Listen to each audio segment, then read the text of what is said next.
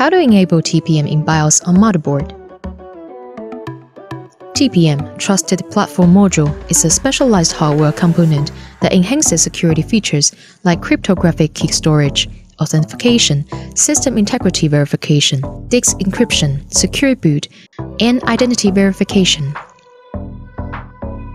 In this video, we will guide you through the process of enabling TPM on both Intel and AMD motherboards. Let's get started with entering BIOS first. When your computer boots up, press the delete key to enter the BIOS settings. If you are using an Intel motherboard, navigate to the Advanced section and find the PCH FW configuration page. Look for the PTT Platform Trust Technology option and change it to Enable.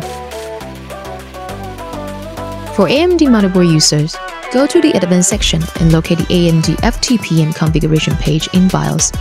Find the TPM device selection option and change to firmware TPM. This is how to enable TPM. Let's save the settings and reboot your system. If a warning message appears when changing settings in the BIOS, click OK to proceed.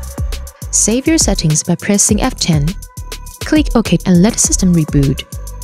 Now you have successfully enabled TPM on your motherboard. Enjoy the secure and optimal computing experience with ASUS motherboard.